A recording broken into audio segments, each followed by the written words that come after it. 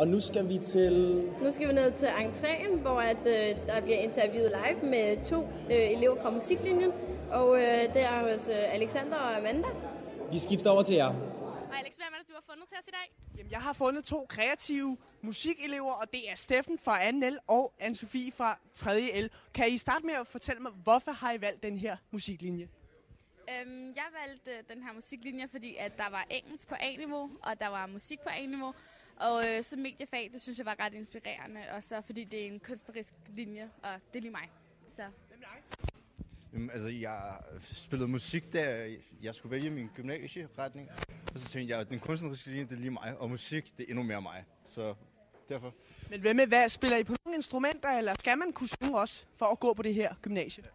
Øhm, altså, du skal kunne synge som sådan. Øh, når du skal til din eksamen, så skal man synge. Øhm, hvad hedder det? Men det behøver jo ikke være skønsang. Men øhm,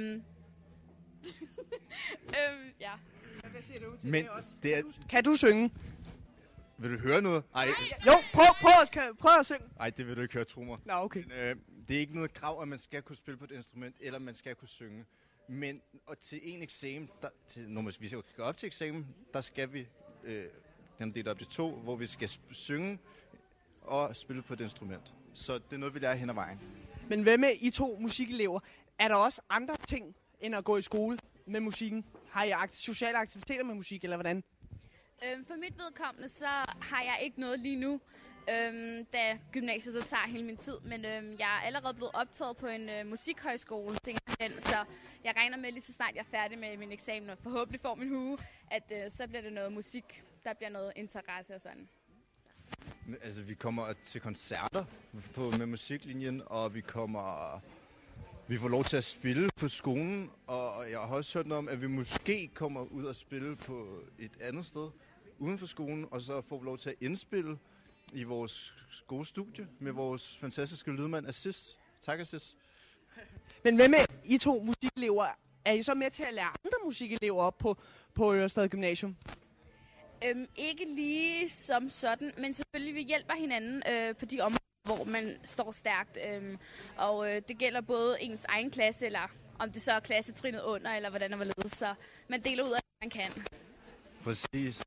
Øh, men noget, der jeg synes, der er rigtig vigtigt, det er, at musikklassen er kendt for et fantastisk sammenhold og et fantastisk fællesskab.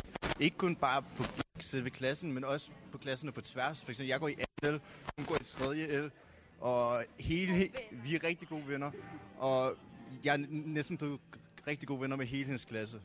Hele tiden. I løbet af gymnasietiden er der jo blevet lavet en del musical, hvor I to har deltaget. Kan I fortælle lidt om musicals? Øh, ja, øhm, ja, vi deltog, eller jeg har deltaget i alle tre, der har været lige tre år i træk, hvor vi var så heldige at få lov til at opføre en musical. Øhm, og det var en rigtig, rigtig fed proces. Øhm, man fik en masse nye venner, for eksempel dig, Panton, øhm, og en masse andre, fra, også fra andre klasser og trin og sådan, så man lærer ligesom, man får en rigtig stor, hvad kan man sige, omgangskreds på skolen også, og så er man lidt nørdet alle sammen, så man har en masse til fælles og sådan, så det er rart. Hvad vil du sige til det også? Vi nørdede på den gode måde, men øh, som Anso siger, vi får et fantastisk fællesskab på tværs af klasserne og på tværs af linjerne. Og det er fantastisk, øh, for eksempel, som Anso sagde, for dig. Men hvad med, nu hvor I så er også deltager i uh, musical, som jeg også selv gør, kommer I til selv at lave al musikken, eller hvordan? Øh, ja, for det meste, men vores øh, musiklærer, de hjælper jo rigtig meget, og vi har også vores øh, teaterlærer, øh, Mette, som øh, de, de tre sammen, øh, Elisabeth, Fritz og Mette, de øh, står for at få lavet et rigtig godt stykke, og så øh, hjælper de de forskellige på instrumenter, og sådan, hvordan og hvorledes man så kan gøre det bedre. Så sammen laver vi det. Ja. Ja, så er det ligesom op til os at udføre det, som de gerne vil have det. Øhm, men som musiker til musicalen, der får man lov til at udfolde sig, man får lov til at fyre den af. Have en, det er pisse sjovt. Men hvad med, hvis I skulle råde nogle elever, eller rettere sagt besøgende i dag, der kommer og ser orienteringsaften her, og de skulle vælge musik, hvad vil, hvis I havde tre stikord til, at de skulle vælge musik, hvad vil I så sige? Øhm, sammenhold, fordi at øh, først og fremmest så sørger du for, at du har noget øh, sammen. Og det er den der musik og den der passion, du virkelig har. Og det har alle. Og øh, har du en? Øh, øl. Vi er glade øldrikkere alle sammen, så man kan godt sige, at det kan være lidt af kendetegn måske. det ligger lidt til musikken, kan man sige. Men øh, hvis I havde lyst, jer der ser med, til at gå på denne her musiklinje, så kan I jo tilmelde jer til skolen næste år, og det er altid en god idé at sende en motiveret ansøgning. Og I kan også komme hen og snakke med musiklo- musikeleverne ved musiklokalet. Tak herfra.